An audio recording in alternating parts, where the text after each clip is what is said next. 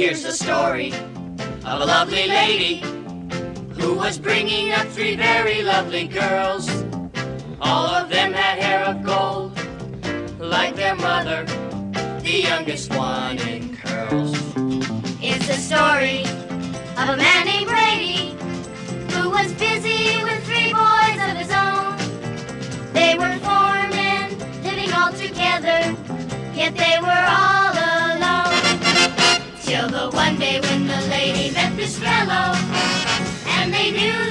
was much more than a hunch. That this group must somehow form a family.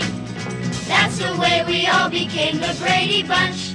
The Brady Bunch.